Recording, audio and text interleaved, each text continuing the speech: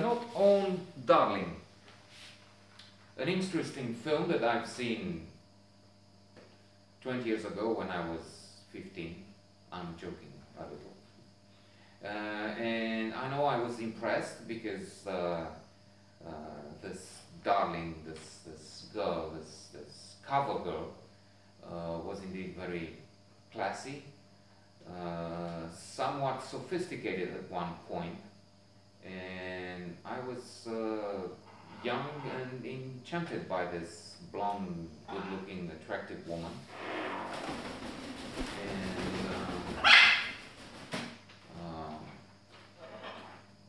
Julie Christie is the one playing.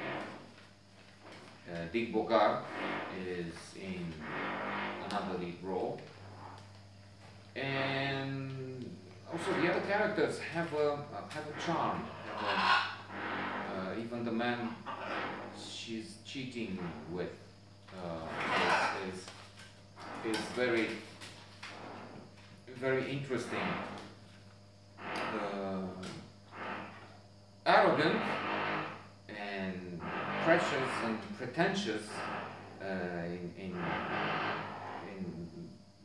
most situations, but with a refinement, with a, with a degree of uh, aristocracy about him. And speaking of aristocracy, indeed, uh, Darling uh, becomes uh, very close to uh, Prince at one stage. I will not get into details, and there's no spoiler alert, and I don't want to to talk about the end. but potolește But um, there is a, a, a um, an effervescence, uh, uh, a sparkling atmosphere quite often. There's some parties which have this um, uh, degree of, of degeneracy. They, they remind one of La Dolce Vita, only they're not as bad as that. In, in La Dolce Vita, if you remember, at one point Marcello Mastroianni I mean, he's the character he plays, who's also called Marcello, is riding on a woman. There's a woman on all fours, and uh, don't think any sexual connotations here.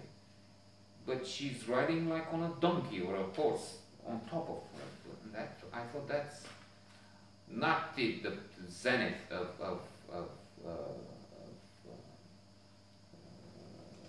degeneracy, but still it is it is decadent and, and despicable in many ways.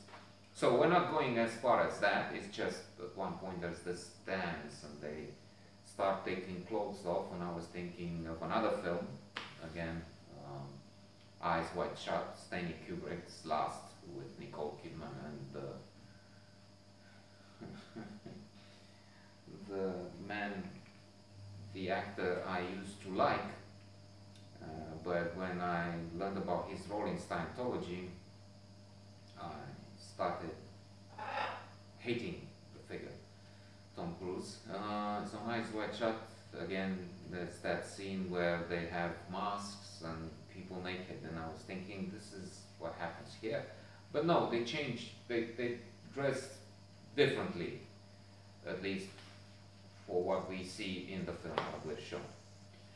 So in the first place, the character Dirk Bogarde is married, and he has he meets this woman he he, he loves uh, for some time.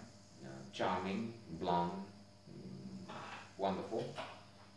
Uh, starts cheating on his wife, but throughout his his character is, for me, rather positive. Uh, complex, the dark side. This philandering is not to be appreciated, of course. Uh, but uh, he's intellectual. He has these interviews, uh, especially one is interesting with a with a, an illuminary, a, a man of, of great distinction, who gives them, by the way, a, a, a painting.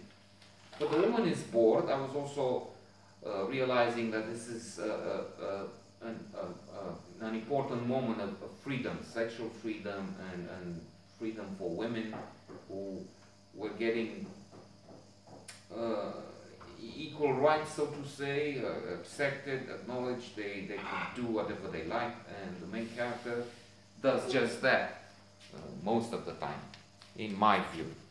That is, um, enjoying her freedom.